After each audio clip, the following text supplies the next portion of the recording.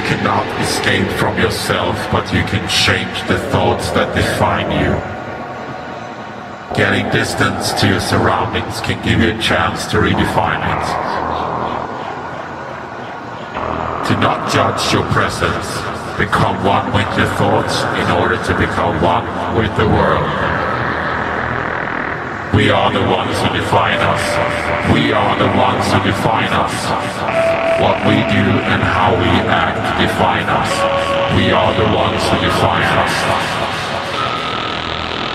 You define yourself at every instance. You can redefine yourself starting with your thoughts. Connect with your inner you and decide who you are. We are the ones who define us. We are the ones who define us. What we do and how we act define us. We are the ones who define us. con